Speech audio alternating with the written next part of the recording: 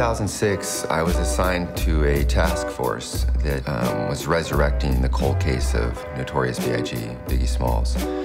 And a group of people, including myself, began to look back over what was now a decade of investigative history. When I was in the police department, crime was the biggest thing with hip hop. And the police department didn't really understand the correlation between the hip hop music world and the crime. So that's where I came into play. I'll tell you how the East Coast, West Coast rift started. The problem was, it wasn't the problem between so much Tupac and Biggie, it was between Puffy and Suge Knight. They don't have respect for the West Coast out here. Yeah, there was just, um, you know, friction that had developed between Puffy Combs and Suge Knight, and then uh, their artists began to beef between Biggie and Tupac, and then ultimately the gangs that they associated with out here in Los Angeles, both West Coast gangs, Crips and Bloods, joined the, uh, the fray. For the Crips out here in Los Angeles, there was a relationship with Puffy Combs, and so when Sean Combs was beginning to have issues with Suge Knight, he brought these Crips around him to kind of create a barrier of protection. Suge Knight, when he was developing his label, and his gang associates just naturally came with him. More on the life and death last night of rapper Tupac Shakur, the singer who always seemed to be in the middle of trouble. I'm pretty much the only detective that traveled to Las Vegas and to Los Angeles. Vegas was still in the dark about the hip hop culture. As a matter of fact, LA was as well, because these guys didn't know anything about hip hop the Vegas PD wasn't so cooperative. LAPD had a lot of problems with the um, corruption. Las Vegas PD guys were very concerned about what information they were going to disseminate to what agencies. Another gangster rapper gunned down. This time, 24-year-old Notorious B.I.G. killed in an apparent drive-by shooting outside a Los Angeles party early Sunday.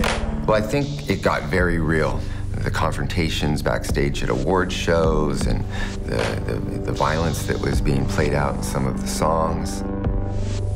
All of a sudden now you have two extremely prominent members of that music culture gunned down, their lives cut short out of nowhere. You know, they're here and gone.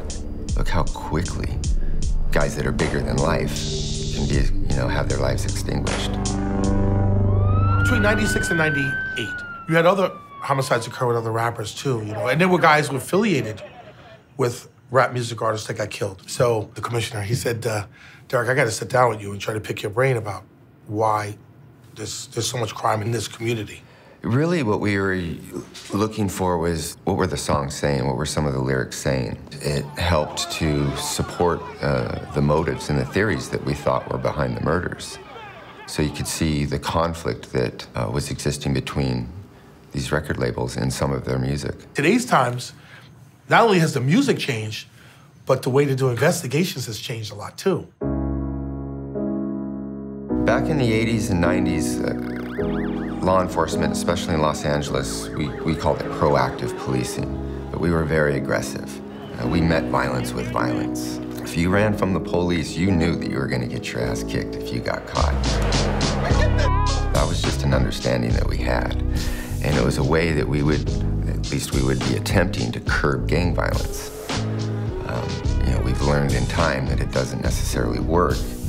At the time, we thought that was the right way of doing business. When Tupac and Biggie were murdered, there was such a adversarial relationship between the police and, uh, and the gang culture. The most prominent theory at the time, publicly, was that uh, corrupt LAPD officers were involved in the murder of Biggie Smalls. And that was what was out, um, you know, kind of prevailing in the media. And uh, kind of accepted that as being true.